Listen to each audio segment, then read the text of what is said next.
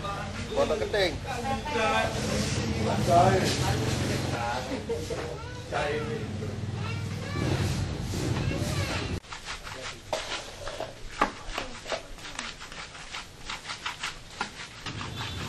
Dari anu, Pak, saya rata.